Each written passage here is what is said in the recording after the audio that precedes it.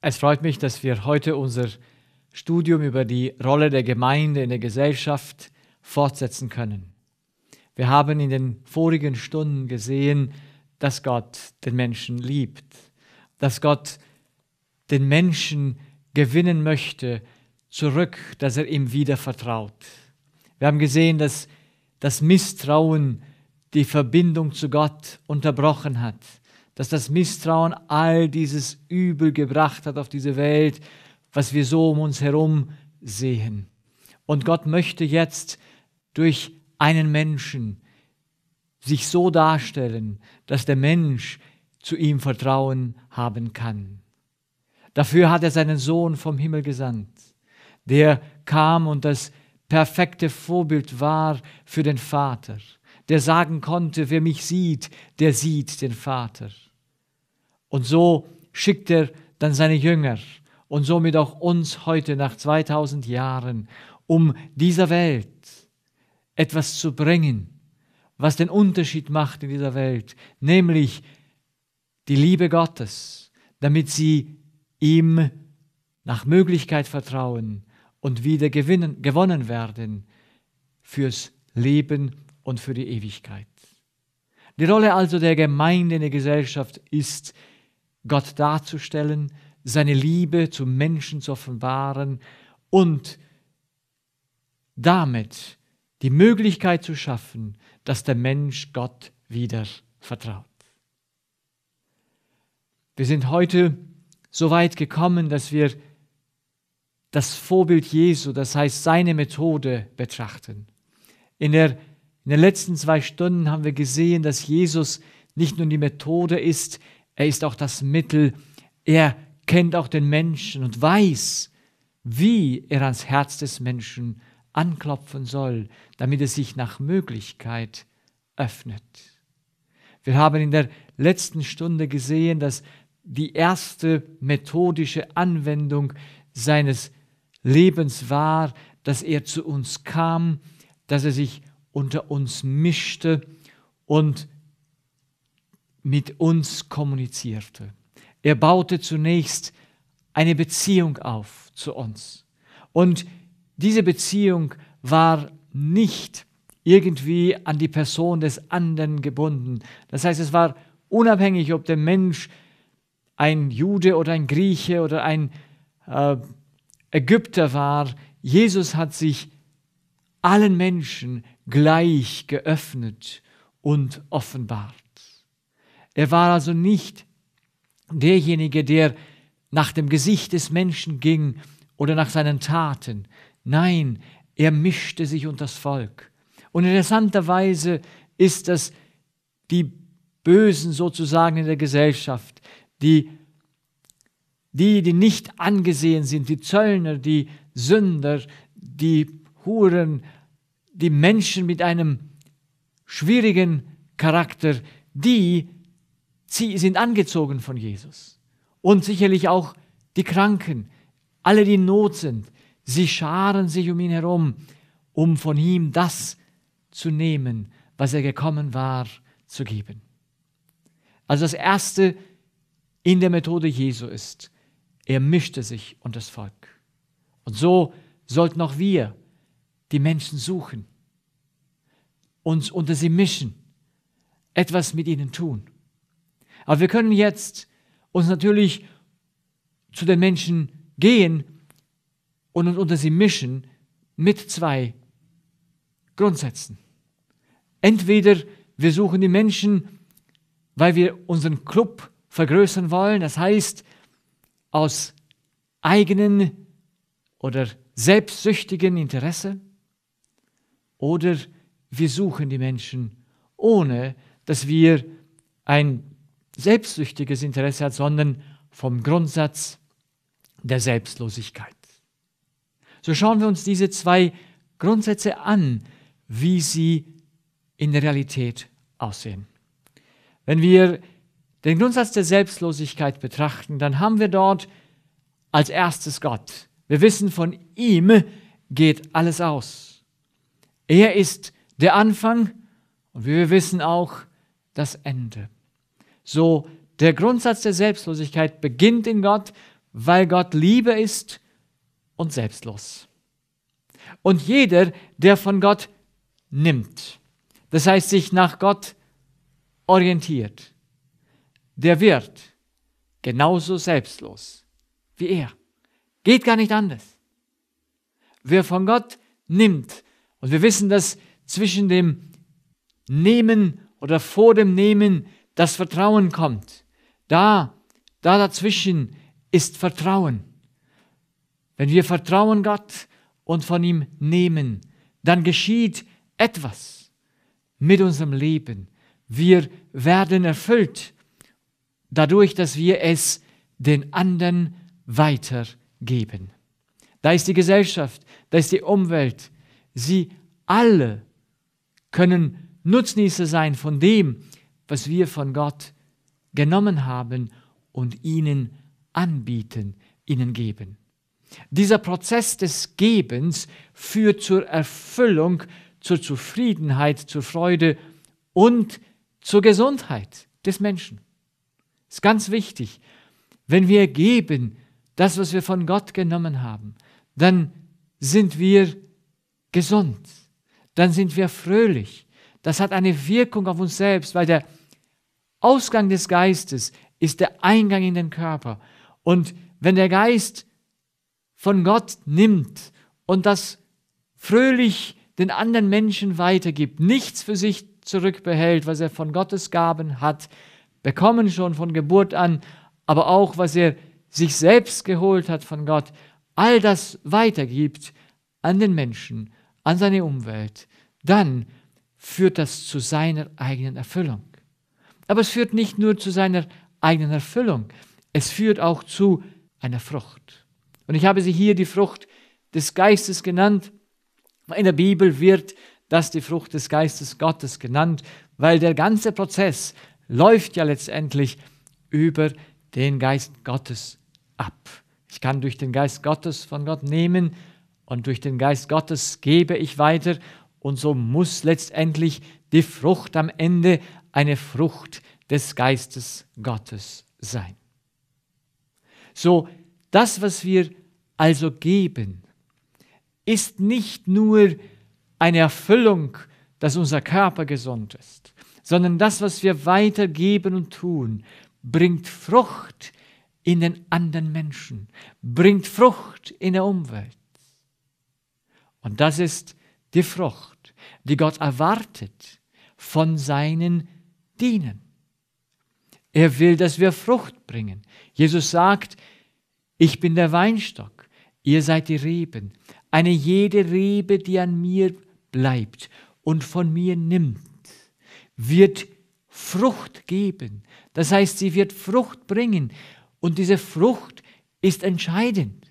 Und wenn die Rebe keine Frucht bringt, dann wird sie abgeschnitten, weil das Ziel Gottes mit allem, was er tut, ist Frucht zu bringen.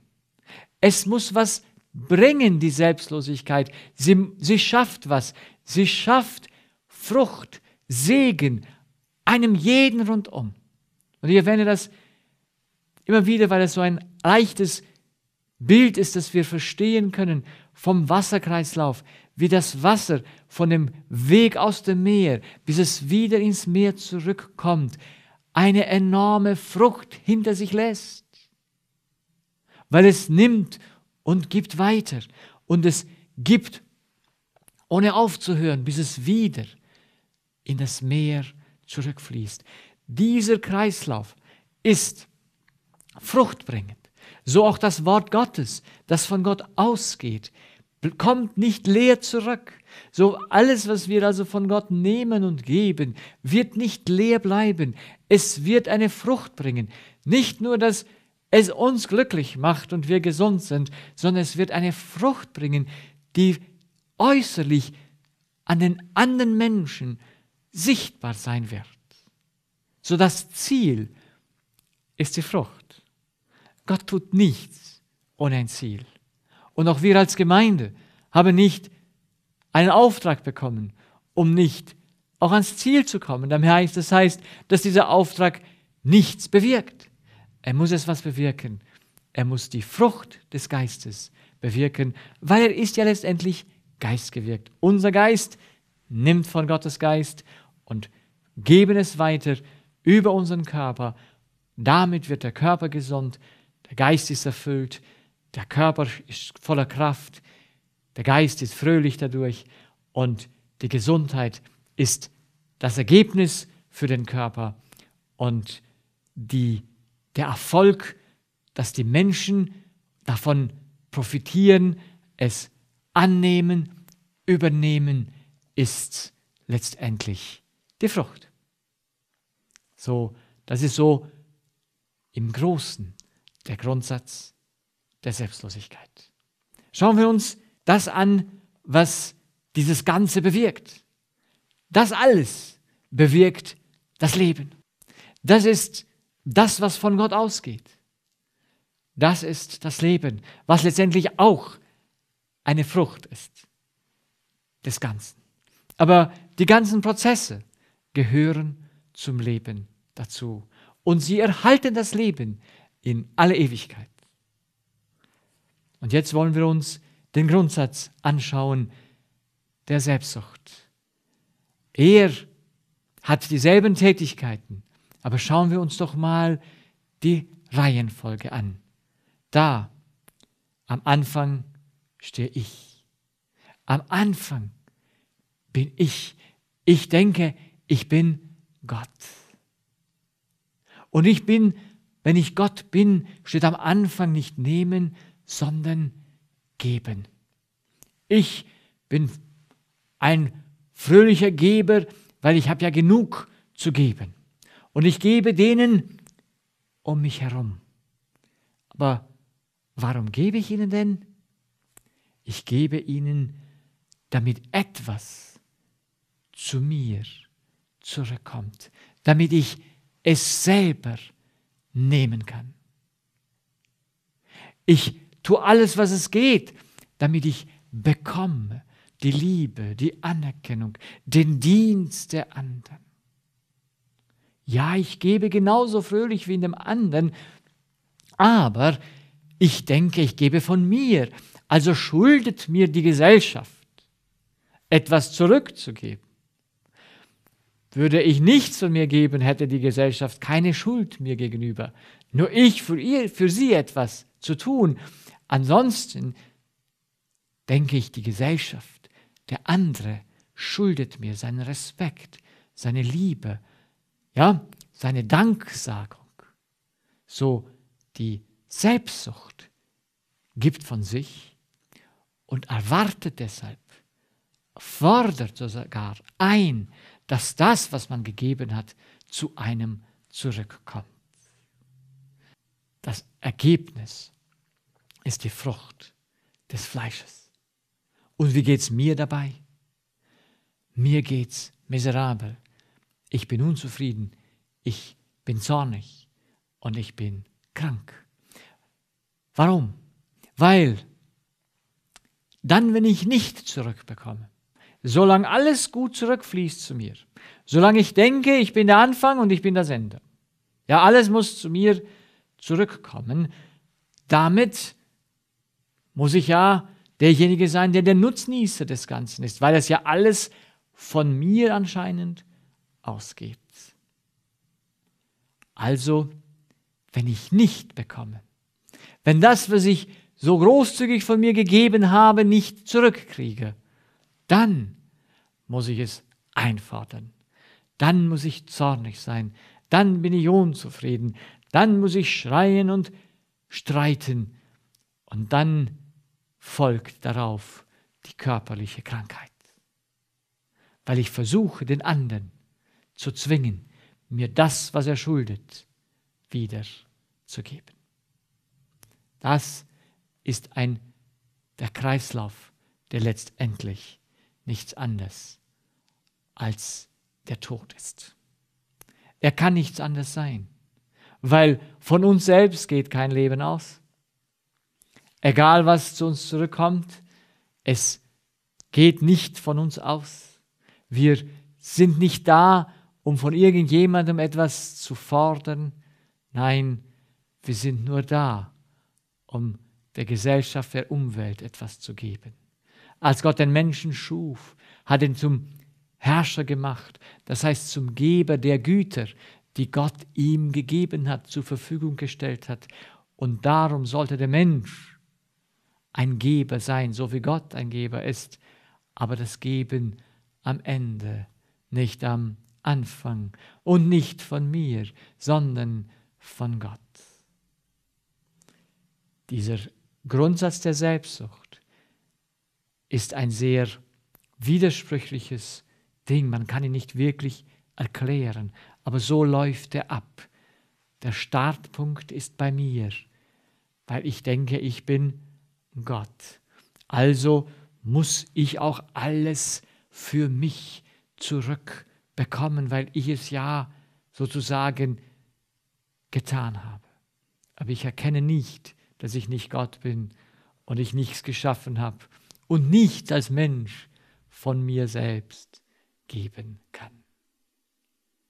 So, das sind die zwei Grundsätze. Und wir als einzelne Menschen, als, wie soll ich sagen, als Gemeinde, können natürlich rausgehen. Und woher wissen wir, welcher Grundsatz uns steuert? Woher wissen wir, aus welchem Grund tue ich, was ich tue? Ich denke, man kann es zusammenfassen durch zwei ganz, ganz wichtige Merkmale, die die zwei Grundsätze unterscheiden. Der erste Grundsatz ist der der Selbstlosigkeit, der sagt nichts anderes, ich handle im Auftrage Gottes. Das ist so, wie uns Gott geschaffen hat. Ich habe dich getan, dass du in meinem Auftrag hier auf der Welt deine Pflicht tust als Herrscher, als der, der alles versorgt, was ich dir untergestellt habe. Das heißt, der Grundsatz der Selbstlosigkeit ist im Auftrage Gottes Arbeit. Der Grundsatz der Selbstsucht ist im eigenen Auftrag arbeiten, für sich zu arbeiten. Ich hatte gestern ein Gespräch mit einem Patienten und auch guten Freund und er ist ein wenig ein Künstler, er kann sehr schön die Dinge zusammen äh, basteln und machen und er hat viel Freude daran, das zu tun. Und dann fragt er mich, ja, was soll ich tun, wenn mein Nachbar kommt und sagt, das gefällt mir, mach mir auch so etwas. Wie soll ich handeln? Was soll ich tun? Nun, es kommt darauf an, für wen hast du getan dein künstlerisches Werk? Und die Antwort ist für mich, weil ich Spaß habe. So, dass die Arbeit in Gottes Weinberg Spaß macht, ist ganz klar. Sie bringt Erfüllung. Aber ich muss wissen, in welchem Auftrag handle ich. Handle ich für mich? Dann wird das, was ich tue, letztendlich Frust bringen. Wenn der Nachbar es nimmt, mir aber nicht genug dafür zahlt, dann werde ich frustriert sein. Oder wenn ich nicht einen Preis verlangen kann, den ich denke, vor Gott gerechtfertigt ist, weil jeder Arbeiter ist seines Lohnes wert. Aber ich habe es nicht für den Nachbarn getan. Ich habe es auch nicht für einen Lohn getan, sondern ich habe es getan, weil Gott mir diesen Auftrag gegeben hat, es für ihn zu tun. Was glaubt ihr, wie viele Missionare sind im Auftrage Gottes unterwegs? Und wie viele sind in ihrem eigenen Auftrag unterwegs? Oh, es gibt so viele Menschen, die voller, ich sage jetzt mal, voller Eifer rausgehen an die Menschen. Und in ihrem Eifer wollen sie das Gute den Menschen bringen. Genau denselben Eifer habe ich auch. Und ich möchte gern, dass jeder meiner Patienten gesund wird. Ich möchte allen die gute Botschaft der Gesundheit weitergeben. Aber woher weiß ich, was mich steuert? Woher weiß ich, welcher welche Motivation, welcher Grundsatz an der Basis meines Handelns ist. Ihr seht, die Handlungen können gleich sein. Ich tue etwas Schönes, aber für wen? In wessen Auftrag tue ich Und so gibt es viele selbsternannte Missionare, viele Menschen, die eine Idee haben, die da rausgehen, weil sie wollen sich selber darstellen. Und der eine stellt sich natürlich da mit seinem Geschäft und der andere stellt sich da als Missionar. Aber letztendlich ist es dieselbe Darstellung. Weil man wird vom selben Grundsatz geprägt, es für sich selbst zu tun. Jesus kam auf diese Welt, um es nichts für sich selbst zu tun.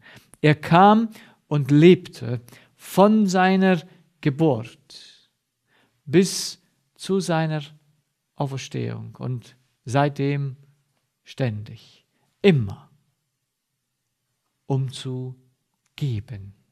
Er hat immer aus dem Vater genommen, immer durch den Vater gearbeitet, immer vom Geist Gottes erfüllt gehandelt. Er war immer im Auftrage Gottes unterwegs. Nie in seinem eigenen. Und deshalb müssen wir uns fragen, in wessen Auftrag bin ich unterwegs? Und wir werden sehen gegen Ende, an der Frucht wird man den Unterschied sehen. An der Frucht sieht man, ob die Taten, die wir getan haben, letztendlich aus Gott stammen oder aus den Menschen. Aber schauen wir uns, bevor wir dahin kommen, das Beispiel unseres Heilandes an. Er kommt auf diese Welt und sicher, er spricht von sich in Johannes 5, 19 und an vielen anderen Bibelstellen. Wahrlich, wahrlich, ich sage euch, der Sohn kann nichts von sich selber tun, sondern was er sieht den Vater tun, denn was dieser tut, das tut gleicherweise auch der Sohn. Damit bringt er den ganzen Grundsatz der Selbstlosigkeit zutage. Jesus sagt, ich und der Vater bin eins. Nicht eins im Wesen, das heißt im, in der Person, sondern eins im Handeln. Ich als Sohn Gottes, als Mensch auf dieser Erde, habe in mir selbst nichts, woher ich nehmen soll. Ich handle aus meinem Vater heraus. Ich kann aus mir selbst nichts tun. Jesus hat keine einzige Tat aus sich oder für sich getan. Alles, was er tat, war in Erfüllung des Auftrags, den Gott schon dem Adam gegeben hatte, nämlich zu dienen, für die anderen da zu sein. Und in diesem Beispiel in Johannes 5, da geht es ja darum, dass man ihn anklagt. Und die Anklage lautet, du heilst am Sabbat. Du tust am Sabbat etwas, was nach dem jüdischen Tradition verboten ist, nicht nach dem Gesetz Gottes. Jesus kannte das Gesetz sehr gut und hat es erfüllt. Er hatte gesagt dem Hebräer, sagt er, ich bin gekommen, dass ich das Gesetz erfülle, dass ich es halte, dass ich es tue. Und Jesus wusste, was das Sabbatgebot bedeutet. Und hier wird er angeklagt. Hier kommen die Menschen auf ihn zu und sagen ihm, du hast dem Mann gesagt, er soll sein Bett tragen am Sabbat. Er trägt eine Last am Sabbat. Und du hast ihn geheilt. Und jetzt muss Jesus dem Ganzen irgendwie begegnen. Und er begegnet ihm mit dem Grundsatz der Selbstlosigkeit. Er sagt, ich habe es nicht aus mir getan. Ich habe es zwar getan, aber ich habe es getan, so wie ich gesehen habe, der Vater tut's. Weil im letzten Wort, in dem letzten Satz sagt es, denn was dieser tut, das tut gleicherweise auch der Sohn. So, wenn mein Vater arbeitet, das ist der Text kurz bevor in Johannes 5, und tut das Werk und arbeitet am Sabbat, so tut der Sohn das auch. Er tut natürlich ein Werk, das wozu der Sabbat gemacht ist. Er tut nicht ein Werk, wozu der Sabbat nicht gemacht ist. Und so ist für Jesus ganz klar, wahrlich, wahrlich, ich sage euch, ich habe es nicht aus mir getan. Ich habe es aus meinem Vater herausgetan, weil ich es von meinem Vater abgeguckt habe und ich habe es im Auftrag meines Vaters getan. So, geht doch zu meinem Vater, beklagt euch bei ihm. Jesus ist sehr deutlich. Er zeigt, dass alles, was er tut, er sich nach dem Vater richtet. Das ist der Grundsatz der Selbstlosigkeit. Das ist der Grundsatz des Lebens im Allgemeinen. Schauen wir uns noch ein anderes Beispiel an aus dem Leben Jesu. Wir haben hier das Prinzip der Selbstlosigkeit, das im Leben Jesu völlig deutlich und klar zum Vorschein kommt. Er nimmt von Gott und er gibt an die Gesellschaft und daraus erwächst die Frucht. Und jetzt schauen wir uns ein Beispiel an aus Markus 1 ab Vers 35. Der Tag beginnt am Morgen sehr früh, steht so, am nächsten Morgen, als es noch ganz dunkel war, stand er auf und ging hinaus, und er ging an einen einsamen Ort und betete dort.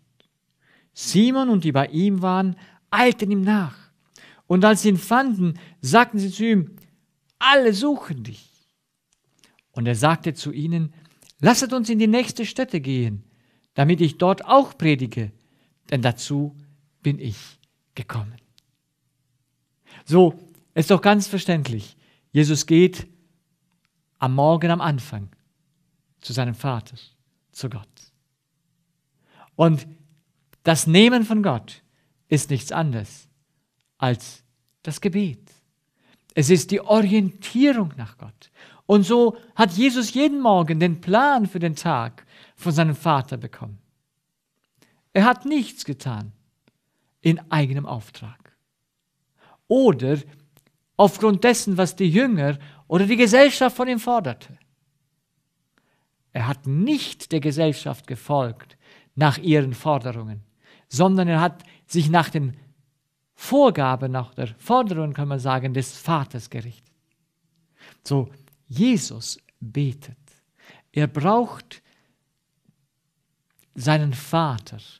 Er braucht die Kraft, weil er betet ja als Mensch. Er ist ja Mensch auf dieser Welt.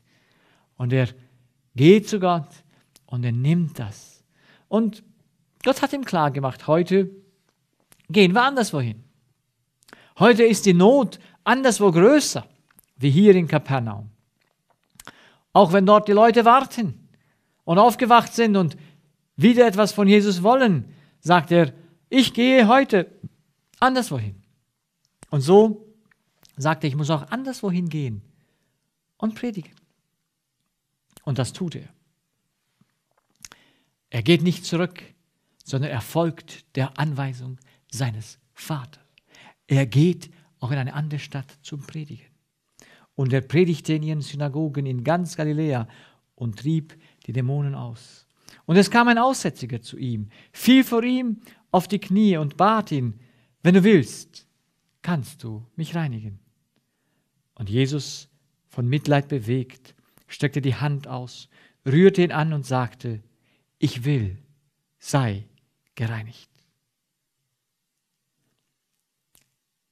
So, wir sehen, als Jesus predigt, hat er natürlich die Erfüllung, dass er des Vaters Auftrag erfüllt. Aber da sind die Menschen um ihn herum. Was passiert mit ihnen? Da sind die Kranken und sie werden geheilt. Die Dämonen werden ausgetrieben, die Kranken werden geheilt. Und das ist die Frucht, die entsteht aus dem, was Jesus tut. Nach wem richtet er sich? Er richtet sich nicht nach dem Kranken selbst, sondern er richtet sich nach der Liebe Gottes. Er sieht den Aussätzigen an. Der Aussätzige hat eine Not. Der Aussätzige ist ein Gläubiger. Und Jesus ist voller Mitleid und sagt, wieso sollte ich dich nicht heilen? Und er rührte ihn an und er ward gesund. Dieser Grundsatz hat Jesus in allen seinen Taten gezeigt und offenbart. Er kam, um das Beste des anderen zu suchen. Er kam nie, um sich selbst zu suchen. Er war derjenige, der von morgens bis spät Nacht immer nach seinem Vater gewandelt ist. Und dadurch, dass er von seinem Vater nahm und sich nach seinem Vater richtete, konnte er den Anforderungen und Forderungen des Menschen mit Liebe begegnen. Sonst hätte er anders gehandelt. Wie konnte Jesus, als der, die Martha zu ihm kommt und sagt, schaffe mir recht, denn Maria hilft mir nicht, der Martha antworten und nicht die Maria zurechtweisen?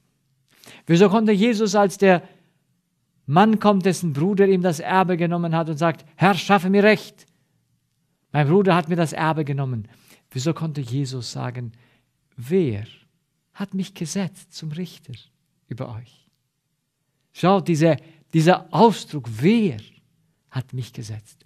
Hat sein Vater ihn dazu nicht gesetzt, dann tut er es nicht. Wir finden im ganzen Evangelien, im Johannesevangelium besonders, im Kapitel 17, wie Jesus immer sagt, er handelt aus der Vollmacht des Vaters heraus, wegen der Vollmacht, die ihm der Vater gegeben hat. Das ist es, was sein Handeln hervorbringt. Also kommt in jedem seiner Handeln die Liebe Gottes hervor und die bringt Frucht. Sie bringt Heilung. Sie bringt Glück und Freude. Wenn wir uns nur erinnern an den Mann, dem er sagt, deine Sünden dir vergeben. Und er sagt ihm, steh auf, nimm dein Bett und gehe. Wie er fröhlich seinen Weg geht. Und wie er den Blinden heilt in den zwei Schritten. Wie er alles tut. Wir werden uns das Beispiel noch mal ein bisschen näher anschauen. Wie er alles tut aus dem Vater heraus zum Guten des Menschen. Was für ein Gegensatz ist da der Grundsatz der Selbstsucht, welcher nichts anderes als der Tod ist. Hier sehen wir ein furchtbares Durcheinander. Dass der Mensch denkt, er ist Gott und er kann aus sich selbst etwas tun, ist natürlich katastrophal. Aber der Mensch tut es ja, weil er denkt, es ist richtig. Er hat ja eine gute Absicht. Wir haben in der Bibel oder in, der, in dieser Betrachtung heute das Beispiel des Jona. Warum geht der Jona nach Ninive letztendlich? Ja, er ist bekehrt, er geht. Gott zwingt ihn nicht, er geht freiwillig. Aber er hat immer noch in seinem Herzen einen Teil dort, wo er meint, diese Menschen verdienen den, den Tod, sie verdienen die Vernichtung. Er ist nicht gnädig zu ihnen. Er geht nicht mit Liebe ihnen nach, sondern er will und er stellt, stellt sich dar als Richter. Als Gott ihn fragt, Jona, zürnst du zurecht? Dann antwortete Jona, ja Herr, ich zürne zurecht. Er wusste nicht, er, aus welchem Grundsatz er handelte. Er hat letztendlich getan, was sein Auftrag war. Aber was, hatte, was war in seinem Herzen? Und Gott wollte ihnen das offenbaren. Es ist das Prinzip der Selbstlosigkeit in der Geschichte des Jona kommt so schön zum Tage. Als er dort sitzt, lässt Gott diesen Baum wachsen und dann lässt er ihn auch wieder äh, austrocknen. Und dann guckt er und lässt den Wind kommen, dass der Jona die Hitze spürt. Und dann ist der Jona matt und zermürbt. Und dann sagt ihm Gott, Jona, warum bist du matt und zermürbt? Ja, ich habe keinen Schatten. Warum hast du Keine Schaden. Du hast doch nichts getan, dass dieser Baum gewachsen ist. Und bist unglücklich, wenn er jetzt nicht mehr da ist? Ich, der ich diese Stadt gemacht habe, diese 120.000 Menschen plus das Vieh, soll ich es einfach so zerstören, ohne ihnen eine Chance zu geben, erlöst zu werden? Jona, du ärgerst dich über etwas, was du nicht getan hast. Du hast nichts an dem Strauch gemacht, aber wenn er nicht mehr da ist, bist du böse. Du verstehst nicht. Ich habe diese Menschen gemacht. Und ich will ihre, ihr Bestes. Und ich habe dich ausgesucht. Du bist der Vertreter von mir, dass du ihr Bestes suchst. Und was suchst du? Du suchst eine Zerstörung, ohne dass du Rücksicht nimmst, auf wie viel diese Menschen wissen oder nicht. Weil Jesus sagt, Gott sagt, die wissen nicht, wo links und rechts ist. Der Jona hat und zürnt über etwas, was ihm nicht gehört, wenn er es verliert. Deshalb ist es ja ihm auch nicht sehr wichtig, ob die Menschen in Nineveh überleben oder nicht. Ihm ist wohl nur wichtig, sie sind Sünder, sie sind ungerecht, sie haben das und das Böse getan, sie verdienen die Strafe. Gnade und Liebe sind da nicht drin in Jonas Herzen. Und Gott möchte, dass es reinkommt. Er möchte seinem Diener helfen. Wie viele Diener hat Gott? Ich meine in Anführungsstrichlein, die mit dem Schwert durch die Welt gehen, die schneiden und hauen und alles niedermetzeln. Sie mögen Recht haben auf der Seite der, des Rechts, dass die anderen Falsches tun. Aber wo ist denn die Gnade? Gerechtigkeit und Gnade ist das Mittel, was die Menschheit braucht, damit wir ihn wieder zurückgewinnen. Mit dem Schwert wird niemand gewonnen, mit dem Schwert wird nur Gericht gehalten. Und Gott bringt und drückt seine Gerechtigkeit aus an den Nineviten durch Jona. Aber er will sich ja dadurch erlösen, nicht zerstören. Jona ist derjenige, der an Gottes Stelle steht und sagt, die verdienen den Tod. Dabei geht es ihm nicht um die Menschen dort. Es geht ihm nur ums Recht. Oh, wie viele Christen sind heute unterwegs, denen es nur ums Recht geht. Die nicht verstanden haben das Gemisch zwischen Recht und Gnade. Die nicht verstanden haben, wie die zwei Dinge zusammenarbeiten sollen. Ja, ich soll recht handeln, aber ich soll Gnade haben mit dem Sünder. Und ich soll ihn rufen zur Buße, wie wir in der letzten Betrachtung gesehen haben. Ich gehe und suche ihn, damit ich ihn rufe zur Buße. Nicht um ihn zu zerstören. Jesus hat Jonah nicht gesandt nach Ninive, um eine Zerstörungsbotschaft zu bringen, sondern eine Erlösungsbotschaft. Aber er musste den Menschen vor die Konsequenz hinstellen, so wie er den Kain gestellt hat und gesagt hat, wenn du fromm bist, dann bist du angenommen. Wenn du aber nicht fromm bist, dann lauert die Sünde vor der Tür und nach dir hat sie Verlangen, du aber herrsche über sie. So sendet Gott den Jona und sagt, geh zu den Nineviten, sie sollen doch erlöst werden. Sie sollen wissen, ihr Leben ist nicht richtig. Sie rennen in den Tod aber ich will sie noch einmal warnen. Und der Jona geht, aber in wessen Auftrag? Es scheint ja so, dass er in Gottes Auftrag geht. Ja, Gott schickt ihn dahin. Er erfüllt auch sein Werk. Er ist auch letztendlich erfolgreich, obwohl sein Herz erhebliche Mängel aufweist. Und Gott will auch sein Herz komplett reinigen von der Selbstsucht. Man ist nicht auf einmal frei von ihr. Man kann gewisse Taten tun aus Gott heraus, wenn man andere immer noch aus sich selbst heraus tut und sich dessen nicht bewusst ist. So muss Gott im Leben des Jona die Not bringen um zu zeigen, Jona, du zürnst zu Unrecht. Jona, du hast die Gnade, fehlt dir für diese sündigen Menschen. Du magst recht haben mit der Gerechtigkeit. Du magst recht haben, diese Menschen haben das verdient. Aber sie sind unwissend, sie wissen nicht, wo links und rechts ist. Sollen wir nicht gnädig mit ihnen sein und ihnen noch eine Chance geben zur Buße? Oh, dass doch der Christ verstände, das Gemisch zwischen Gerechtigkeit und Gnade. Sie schließen sich nicht aus. Nein, sie arbeiten wunderbar zusammen. Aber nicht im Grundsatz der Selbstsucht, sondern im Grundsatz der Liebe und der Selbstlosigkeit. Wir haben unzählige Beispiele in der Heiligen Schrift von Menschen, die aus sich heraus gehandelt haben, die meinten, sie sind im Auftrage Gottes. Wie viele falsche Propheten waren in Israel und wie viel hatte Gott gesandt?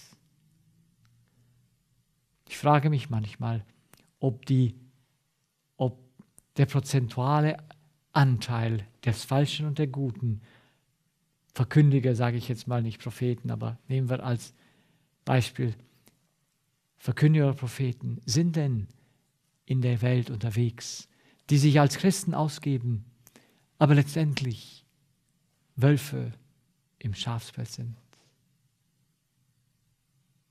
Haben wir Kenne ich mich? Weiß ich den Unterschied? Ob ich, ob ich daraus gehe für Jesus, für Gott oder für mich selbst? Geht es um meine Selbstverwirklichung oder geht es um die Verwirklichung des Planes Gottes? Die Bibel sagt ganz deutlich, woran wir erkennen können, ob wir im richtigen Auftrag unterwegs sind oder im falschen. Und das ist ein Bibelvers, den wir alle kennen. Der sagt, an ihren Früchten sollt ihr sie erkennen. Und das sagt Jesus in Matthäus 7, Abwärts 15. Da sagt er, nehmt euch in Acht vor dem falschen Propheten, die in Schafskleidern zu euch kommen, inwendig aber sind sie reißende Wölfe. An ihren Früchten werdet ihr sie erkennen. Kann man auch Trauben lesen von Dornen oder Feigen von Disteln, so bringt jeder gute Baum gute Früchte, aber ein fauler Baum bringt schlechte Früchte. Ein guter, guter Baum kann nicht schlechte Früchte bringen und ein fauler Baum kann nicht gute Früchte bringen. Jeder Baum, der keine guten Früchte bringt, wird abgehauen und ins Feuer geworfen. So werdet ihr sie an ihren Früchten erkennen. So, das Fruchtprinzip ist entscheidend, dass wir es verstehen, dass wir wissen, wie sollen wir das erkennen, ob wir richtig sind oder falsch. Und auch erkennen, wie viele hat denn Gott da draußen im Prozentzahl an richtigen und an falschen Propheten. Und der Richtige und der Falsche unterscheidet sich nicht einmal in der Botschaft letztendlich, sondern wer ihn gesandt hat. Die Worte mögen äußerlich gleich sein, und dennoch meint der eine eines und der andere was anderes. So schauen wir uns an, wie entsteht Frucht überhaupt? Kann Frucht von sich aus kommen? Wie entsteht die Frucht?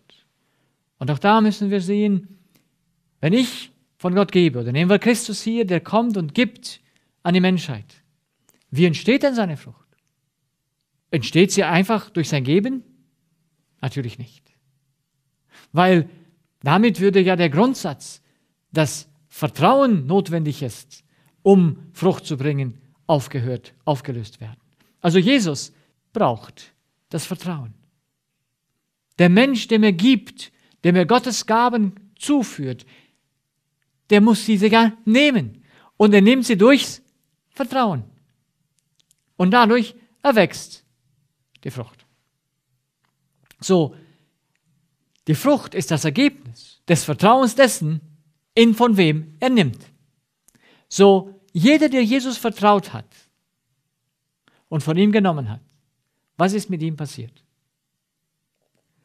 Ein jeder wurde nicht nur gesund, aber jeder, der im Vertrauen geblieben ist, hat das ewige Leben ererbt. Jeder wurde ein Weitergreicher derselben Sache, die er von Jesus genommen hat.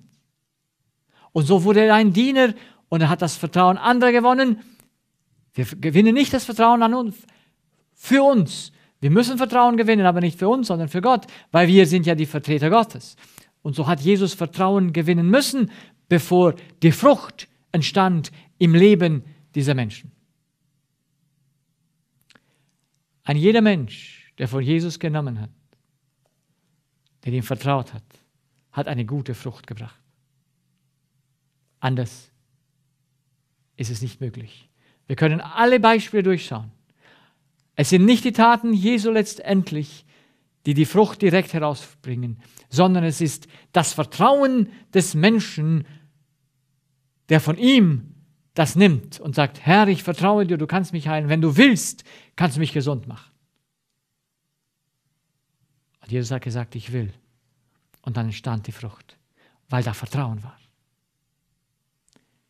Keine Frucht kann entstehen, wenn Jesus gibt. Wenn er alles, was er vom Vater genommen hat, gibt. Aber man bringt ihm Misstrauen entgegen. Und das ist die Gruppe der Pharisäer und Schriftgelehrten. Das sind, und viele von den Priestern, das sind die Heiligen, die, die haben Jesus angeguckt. Woher kommt dieser? Wir kennen seine Eltern. Der kann doch nicht von Gott kommen. Aus Nazareth kommt kein Prophet. Sie haben die Schriften studiert. Aber mit welchem inneren, mit welcher inneren Haltung? Johannes 5 zeigt weiter auf die Haltung der schriftgelehrten Pharisäer. Sie haben aus menschlicher Ehre gesucht. Sie haben die Bibel durchforscht, aber sie haben Jesus darin nicht gefunden, interessanterweise. Er sagt, ihr forscht in der Schrift und wollt das ewige Leben darin haben, aber zu mir kommt ihr nicht, der ich ja die Erfüllung der Schrift bin. Das passt nicht zusammen. Sie haben Misstrauen entgegengebracht.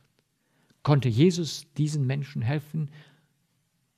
Natürlich konnte er ihnen nicht helfen. Es entstand keine Frucht. So, die Frucht ist also abhängig davon, dass der andere es übernimmt.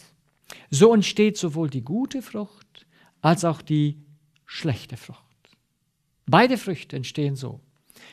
Natürlich werden wir alle geboren als schlechter Baum, so beeinflussen uns die schlechten Dinge viel schneller und viel leichter und wir werden noch zorniger, wie wir sind, wir werden noch eifersüchtiger, wie wir sind, wir werden noch kränker, wie wir sind, dadurch, dass wir uns beeinflussen lassen, das heißt von anderen Menschen übernehmen.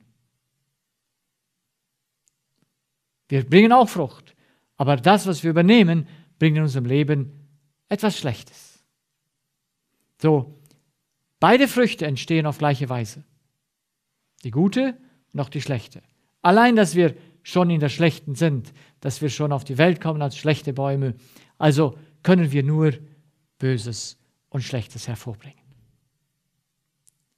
So, man misst Jesus nicht daran, wie viel ihn angenommen haben oder wie viel ihn abgelehnt haben. Weil wenn man ihn daran messen würde, dann hätte er natürlich im Vergleich mehr verloren als gewonnen. Aber Jesus ist gekommen, um eine Frucht zu bringen, eine gute Frucht. Und alles, was er getan hat aus seinem Vater. Und an jeder, der das aufgenommen hat, zu allen Zeiten, vor ihm und nach ihm bis heute, in dessen Leben sieht man einen Unterschied. Da kommt seine Frucht der Liebe heraus und da kommt auch Leben. In dem Leben derer, die Jesus misstrauen, die seine Botschaft nicht annehmen, da kann keine Frucht entstehen. So, das ist der Grundsatz, wie die Früchte entstehen. Die Früchte sind nicht die Taten, sondern das, was aus den Taten wird, wenn die Menschen sie annehmen. Wenn die Menschen sie nicht annehmen, wird nichts aus den Taten. Entsteht keine Frucht. Aber die, die ihn annahmen, denen gab er Macht, Gottes Kinder zu werden. Also Jesus, jeder, der ihn angenommen hat, ist ein Kind Gottes geworden. Das heißt, aus ihm sind gute Taten entstanden. Und jeder, der das übernommen hat, der ist errettet worden. Der hat von der Frucht genommen. Und jetzt haben wir die andere Stelle, die böse Frucht. Wie entsteht sie? Sie entsteht auch so, nämlich dadurch, dass der Mensch von einem Menschen nimmt, dass er sich von dem von der Selbstsucht überwinden lässt und durch diese Überwindung führt das zu dem Tod. Er übernimmt etwas, was nicht Leben führt. Deshalb gibt es zwei Arten von Gemeinden oder zwei Arten von Menschen in der Gemeinde, zwei Arten von Arbeit. Es gibt die, die aus dem guten Boden, nämlich aus Gott heraus arbeiten und handeln. Und jeder, der ihre Botschaft annimmt, der wird besser. Es kann nicht anders sein. Ich messe meine Botschaft an dem, wie die Menschen, was mit den Menschen passiert, die das tun, was ich ihnen vorschlage zu tun. Und es ist noch keiner von allen, die das angenommen haben, schlechter geworden. Aber jeder ist besser geworden. Die Beziehungen untereinander werden besser. Die Gesundheit wird besser. Alles wird besser, wenn man den Grundsätzen des Wortes Gottes folgt, die auch ein Mensch, so wie ich, ein kleiner Mensch, verkündigt, sie weitergibt. Man nimmt ja nichts von mir an, man nimmt es ja von Gott an. Man gibt nicht mir das Vertrauen, man gibt Gott das Vertrauen, indem man das annimmt und tut. Jeder, der die Botschaft richtig annimmt, der wird anders. Der sie nicht annimmt, der kommt nicht in Frage, der bringt keine Frucht. Dem kann ich noch so viel sagen. Aber ich muss mich daran messen und verstehen, was führt mein Werk zu welcher Frucht? Was macht es im Leben anderer, wenn die das umsetzen? Und es ist erfreulich zu sehen. Es verändert ihr Leben zum Guten. Familien werden heil. Beziehungen werden wunderschön. Und die Gesundheit des Körpers stellt sich ein. Und das ist schön zu sehen. Es ist nicht meine Frucht, es ist die Frucht des Geistes. Aber ich bin der Glückliche, der es weitersagen kann. Aber jetzt haben wir auch die anderen, die auch nach außen Gutes tun. Sie verkündigen das Gute den Menschen. Aber was passiert mit deren Frucht? Das heißt, es gibt Menschen, die haben eine Sonderbotschaft und dann guckt man an, was passiert mit denen, die sie aufnehmen. Sie werden aufgewühlt, sie werden äh, zerrüttet, sie gehen in eine Richtung, die nicht gut ist. Wenn man die Menschen sehen, die mit gewisse Sonderlehren, welche auch immer es ist, über den Heiligen Geist, über das Heiligtum, über das Essen, über das Trinken, was auch immer eine Sondersache ist. Wenn die Menschen das aufnehmen, dann wird es anstelle besser schlechter. Und daran kann man sich erkennen, ist man einer, der einen guten Samen sät, aus der eine gute Frucht entsteht, oder ob man jemand ist, der einen schlechten Samen sät. Ja, die, die nicht annehmen, die es ablehnen, die bleiben, wie sie sind und werden vielleicht noch schlechter. Aber die, die es annehmen, die werden alle besser. Und ich hoffe, dass wir diesen Grundsatz verstanden haben, dass an den Früchten kann man und wird man erkennen, ob mein Werk richtig ist oder nicht. Und ich kann auch sehen an anderen, ob deren Werk von Gott kommt oder nicht. Weil ich kann ja sehen, nicht ihre Taten, ihre Taten mögen wunderbar sein, aber was tut die Tat, wenn es jemand aufnimmt in seinem Leben? Und es gibt noch einen Aspekt, den wir nicht vergessen müssen bei dem ganzen Fruchtbringen. Eine Frucht muss reifen. Eine Frucht entsteht nicht aus einer Tat. Sie entsteht nicht aus einem Tag. Sie hat einen Reifungsprozess. Und am Anfang sehen beide Früchte gleich aus. Man kann während des Prozesses des Wachstums der Frucht nicht wirklich sehen, wo sie hinführt. Die Frucht des Fleisches und die Frucht des Geistes. Wann kommt sie raus richtig? Wann wird es sein, dass man sie richtig unterscheiden kann? Jesus sagt, sie muss reifen. Was bringt sie zur Reife? Es ist die Zeit und es ist die Not, die Krise. Man kann deshalb nicht sofort sagen, wenn das Werk eines Menschen beginnt, etwas zu tun, am ersten Erfolg oder am ersten Misserfolg gleich sagen, das ist nicht das Richtige. Nein, ich muss sehen auf die Zeit. Bewährt es sich und bewährt es sich als gut. Und was es dann auf jeden Fall hervorbringt und den Unterschied macht zwischen der Frucht des Fleisches und der Frucht des Geistes, ist die Krise, ist die Not, das Elend. Dann erkennt man, ob man für sich handelt oder im Auftrag. Jesus handelte im Auftrag seines Vaters. In wessen Auftrag handelst du? Amen.